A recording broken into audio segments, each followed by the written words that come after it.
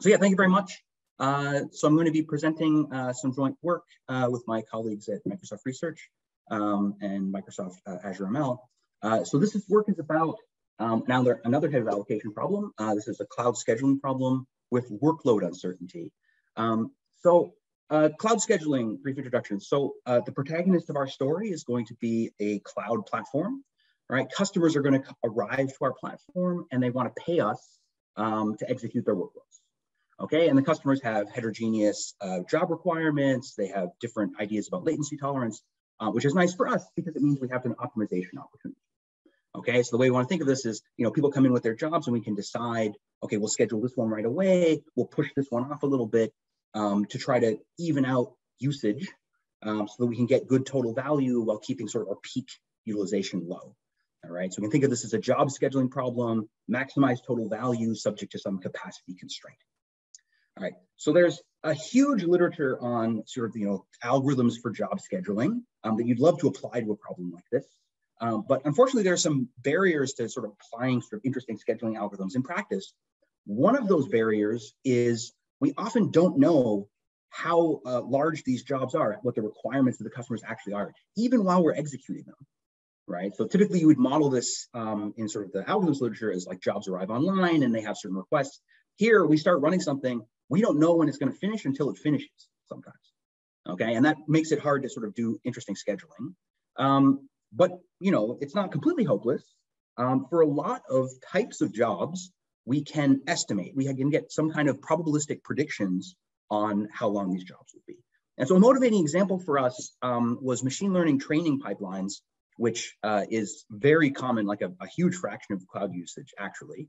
Um, and this is like you know, a, a customer has user telemetry data that they're collecting over time. At a certain point, they're going to, you know, get a get a log, do some processing on it, and then pass it off to the cloud and say, please train me a model um, based on this data. And so we probably know the architecture that they're trying to train. We maybe have some distributional information about what the log, what the input size is going to be, and we could, you know, use that to try to train a model to predict, you know, how long my job will require. So this is called workload prediction. There's a ton of a very active research happening right now in systems literature on how to do that. I'm not going to talk about how to do workload prediction. Um, this talk is about uh, incentive issues that can arise given that I'm using probabilistic estimates to do my schedule. Okay, so can we do truthful scheduling in a world where, where jobs are probabilistic because of this sort of uh, environment? Um, so in particular, I'd love to design payment systems for my cloud that encourages customers to make their workloads predictable while still having them be flexible enough that we can do schedule. Um, then I want to know, like, I want to do this in a way that's careful so that um, customers are not uh, incentivized to game the platform, right? I don't want customers to try to fool my prediction engine to try to give them better prices. Um, and ideally, I'd like to do this predictive uh, probabilistic scheduling, um, you know, not reinventing the wheel, but sort of adding an incentive layer on top of methods we already know. Okay, um, so this is what we do in this work move this aside here, good. Um, so what we start, we present a framework um, that in which customers are sort of uh, allocating, uh, uh, requesting their jobs online, um, but those requests are probabilistic. Okay, and now the scheduler is going to make decisions given the probabilistic information, but those plans will be contingent. Okay, so the scheduler makes execution plans where the uh, prices and the actual scheduling can depend on the job realizations in certain ways. Um, then we're going to use that framework um, and basically design uh, mechanisms for probabilistic scheduling, and it's going to take the form of a reduction. Okay, so what we're going to do is we're going to think of a, a relaxed problem where jobs are um, deterministic but fractional. Imagine that we have a scheduler for that environment, and then we're going to show how to convert that into something that works in this probabilistic environment while retaining approximately the same properties and being truthful.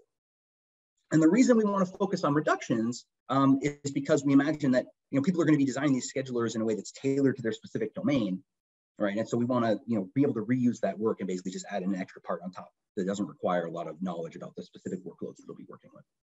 Um, this isn't a black box reduction. We do require some assumptions about the relaxed online scheduler. Uh, we try to argue that these are mild, but uh, I'll talk about that in a few slides. And uh, just to, to give a little bit of a foreshadowing, um, something we really care about here is, is stability. All right, so because everything's probabilistic, uh, what we mean by truthfulness and things is a little bit uh, ambiguous. Um, what I'm, the sort of property I want is that for every history of realizations, right, for every state my scheduler can be in, you know, from that point onward, I still want to be um, approximately truthful and have my good performance guarantee. So it's not that like I have some rare failure state, um, and if I enter it, then the world explodes. Um, we have some applications of this as well, but I'm not going to have time to go into that in this talk, but uh, please see the paper. Um, okay, so how am I on time? Good, good, good. All right, let me jump right into the model. Um, so I want to imagine that I have a large supply of CPU units every time. Okay, when I say large, I mean large compared to what any single job wants, right? It's a large market assumption. Um, my model for jobs is going to be rectangular. Um, our framework can actually handle more general things than this, but this is enough to convey the point. Um, so every job is going to require a certain number of CPUs for a certain amount of time. Um, if I give those CPUs for that contiguous block of time, then the job completes. The job becomes available to execute at some particular time. Um, and once it's available and I can start running it, um, but I can choose when exactly to start running it. And there's a utility function that decays the longer it takes me to complete. Okay, so the customer has some value that they get as a function of how long it takes me to run the job. Um, this is more general than like hard deadlines, which is very common um, in scheduling. So hard deadline would be you know a certain value, but then drops to zero at a certain point. Um, we can uh, allow soft deadlines as well, uh, which is particularly important in this machine learning context. So, so far, there's nothing probabilistic about this, right? This is just the realization of jobs. Our probabilistic part is that jobs can be submitted to our platform in advance of the time when they're ready to execute. Okay, so someone can declare their job in advance, and that declaration can be probabilistic, right? So we call this a statement of work.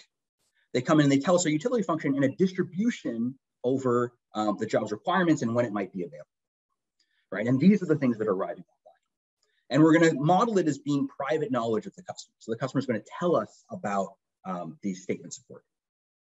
Now, uh, taken literally, right, this would mean that customers are actually going in and like declaring uh, uh, distributions to us. Certainly, we're not saying that that would be a realistic implementation of a cloud. The reason we're modeling it this way is to you know abstract all the different ways a customer might game the system. Okay, so um, rather than thinking of it as the customer is trying to fool a prediction engine, we're saying we'll give the the customer the power to just tell us whatever distribution they want, right? So they can basically fool us however they'd like to. Um, and even then, we're going to design things in such a way that they're incentivized to tell us the true distribution. Okay, good. Um, now, what is our what is our scheduler going to do? Um, when a statement of work is submitted, the scheduler is going to choose an execution plan, which is like contingent decisions, right? So it says, you know, given your your actual realized arrival time, here's when I'll start scheduling you, and given what the job actually uses, here's how much you'll pay. Um, and so this is this latter part is particularly important. Um, we're not going to try to extract uh, expected payments up front, but rather um, people are actually going to pay for what they use right? So especially when jobs are, are very, uh, have very high variance, um, we're not gonna try to, you know, punish people and paying them a lot when they actually just used a little. Uh, this is an important practical consideration.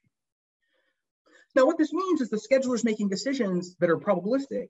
And so in particular, the scheduler doesn't even really know exactly what it's promised to different jobs, right? So when the customer is internally trying to decide, like, what do I have available in the future? It actually just has a distribution over what's available right? So here are possible schedulers. You know, maybe the scheduler has said, okay, there's this orange job. I don't know when it arrives, but I promised them I'll start them whenever they come in.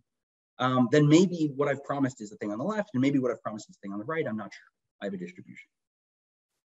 Um, and then a new statement of work comes in, and the person is describing, oh, I have some probably distribution over when my job's going to arrive and how long it's going to be. Um, and now we have to make a decision given the left and the right. Okay, what, what am I going to promise this person? Like, what's going to happen? And notice that this, you know, takes our, you know, multiverse of, of possible worlds and sort of ex and, and expands it out, right? So I come up with some execution plan. Maybe my job, you know, maybe the actual realization of the job is the one on the left, in which case this is what I promised on the right. Um, maybe it's, you know, the job arrives later, in which I'm okay. There could be realizations of the state and the job where I've actually gone over supply. And we actually allow the, the scheduler to make these sorts of risks. That's fine. Um, in which case we'll just have to do preemption. Uh, sorry, um, uh, we'll have to evict jobs and cancel them. And we, our model can allow situations where, like, say, this, you incur a penalty for doing this. All right, good. Um, so how are we actually going to do that schedule? So this is sort of the problem that the scheduler is facing. Um, well, we're going to do a trick which is uh, relatively common in, in online uh, resource allocation, which is we're going to relax. Uh, we're going to do a fractional relaxation right? So instead of trying to keep in our minds this sort of multiverse of different uh, environments, we're going to collapse everything down to the expected usage at every point in time, right? Um, which makes the problem easier for us. Um, so the, the general idea is to um, keep in mind our expected usage. Every job that comes in, I'm going to interpret it as a collection of deterministic but fractional jobs, right? It needs to be a collection because different arrival times could be scheduled differently. Then I'm going to use tools from online convex optimization to actually schedule those things in this fractional simulated world. Okay, and there are a lot of tools sort of out there in, in the literature. Um, here's one that's, that's recent, but there's a long history here. Um, so there's you know nice things we can pull from that would let us do that fractional scheduling problem because there's no probabilistic. And then the nice thing is we can take those fractional schedules and reinterpret them as execution plans, right? So if I look at this, you know, where these, these different pieces of the purple job are executed, I can actually read that off as an execution plan and say, this is my, this is what I'm gonna promise to the user. Um, and the intuition that, you know, maybe this could work is that because my supply is large, concentration bounds to suggest that as long as I give myself some slack, my realized schedule should approximate this expected schedule most of the time, probably. Um, that probably is the thing that's actually going to give us a lot of trouble and is most of the, the meat of the paper. Um, before I get to that, though, let me just say quickly, um, I've told you how to do the allocation, but not how to do the payments. This is where we're going to make some assumptions about how our simulated scheduler works. We're going to assume that it's truthful and that it works based on like some, some notion of like unit prices. Okay, so the mental model here is that my fractional scheduler is maintaining not just expected usage, but also like some price per unit of time um, that maybe is dynamically updating. And whenever a new job comes in, what it actually is doing is it's saying, I'm going to give you the fractional schedule that maximizes value minus price at these you know, underlying hidden prices, and then maybe updates them in response. Now, this such a thing is truthful. It looks at first glance like this is very restrictive, like a very specific way to do things. It turns out that a lot of you know state-of-the-art scheduling methods can be interpreted as like dual-based, you know, primal dual sort of methods, um, and these prices are precisely corresponding to the duals. Okay, and we don't actually require that it be additive like across time like this. All we require is there's some notion of like a bundle price, um, and we're doing this optimization. So it actually turns out that a lot of um, schedulers actually fall into this paradigm. And if we do, then actually we're golden, right? So like um, now when we take our fractional schedule, go onto an execution plan, we can read off from these prices what the contingent prices should be for any given realization. Um, and I want to point out that this actually incentivizes predictable flexible jobs, which was our goal. All right, so if a job is more predictable, right, so if the distribution has less variance, then the fractional job will be more sort of concentrated, which means the scheduler can do a better job of fitting it into like low price areas, right? So more predictability will naturally translate into lower prices, um, which is exactly what, what aligns the incentives between the customer and the, and the scheduler. Great. Okay, so that's the high level idea. There are a lot of challenges, um, which I can't get into in a lot of detail in this talk. Let me just briefly mention. Um, the big issue is that we're trying to simulate this fractional environment, um, but of course that's not real, right? What's real is this distribution over real states. And something that looks feasible in the fractional world, you know, might correspond to something that's actually infeasible in reality, right? So we're, you know, we're taking a risk here. We have this distribution over things, some of which are bad. Maybe we're in a world where the bad event happens, in which case we have to evict. And so the question is, who should we evict in this situation? We need some eviction policy. And we need to do it in a way that, that respects incentives.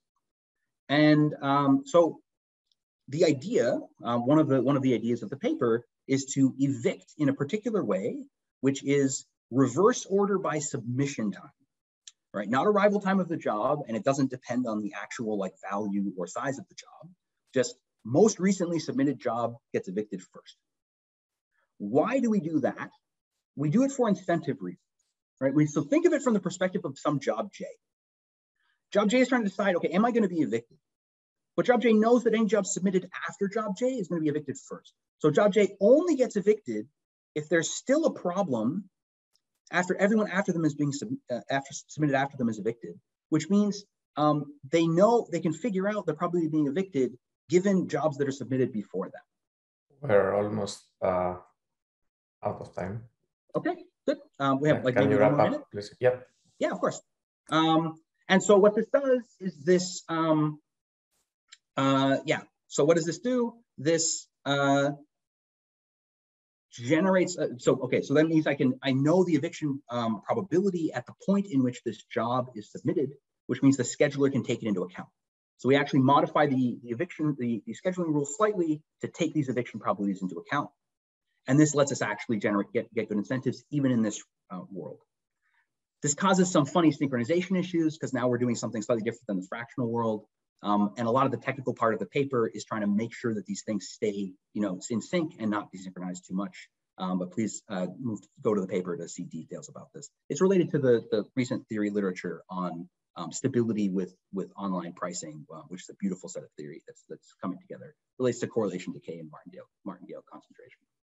Um, so putting this all together, we get this theorem that basically says, uh, if I have a fractional scheduler, I can turn it into a, um, a, a, a, probabilistic scheduler without too much loss and without too much overhead in terms of running time. Um, good, uh, so just to conclude up, um, we looked at incentives and workload prediction. Um, doing appropriate pricing can incentivize predictable jobs.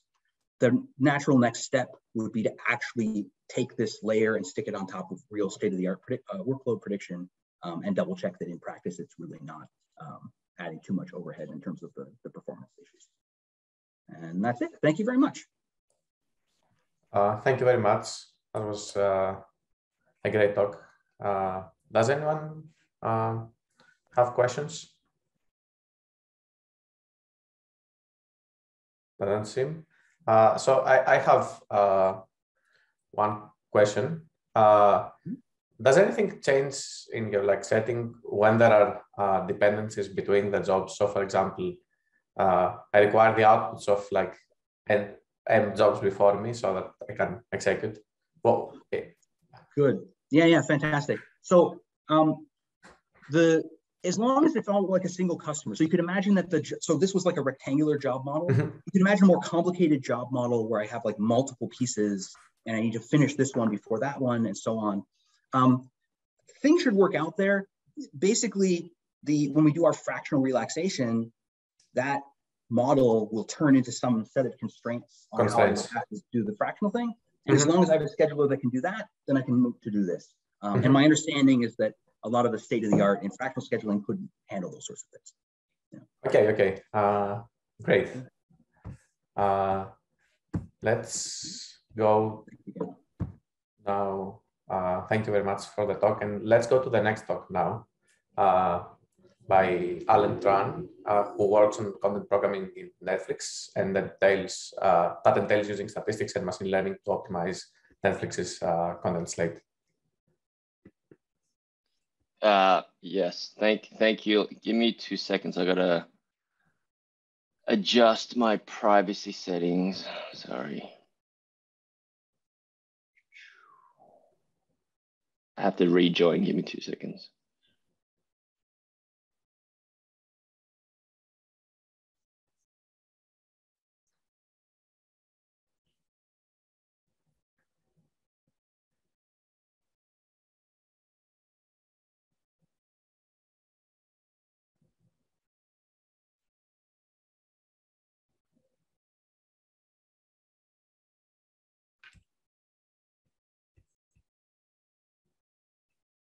Yeah, in the meantime, does anyone else have uh, questions for Brendan?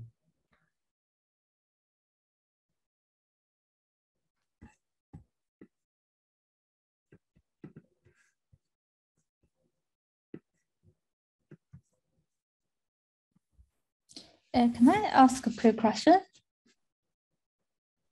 Hello, sure. Yeah, uh, yeah, I think it's a very nice talk. I want, can you repeat what is the general idea of this mechanism design, maybe in one sentence? The sorry, the problem or the solution? The solution. Yeah, so we're gonna reduce to a relaxed problem that's not that's deterministic but fractional. Mm-hmm. Um, then we're going to set up an eviction rule that lets us estimate the probability of eviction because mm-hmm. of the differences between the fractional and the, um, the real world.